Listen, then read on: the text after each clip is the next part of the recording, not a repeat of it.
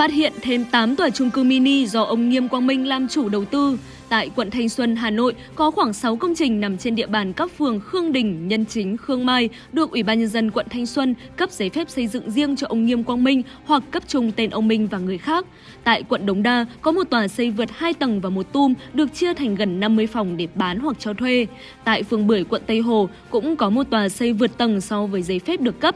Đặc điểm chung của các công trình này là chiều cao vượt trội so với những công trình bên cạnh. Các tầng gần như chỉ có một mặt thoáng và được thiết kế theo kiểu chuồng cọp.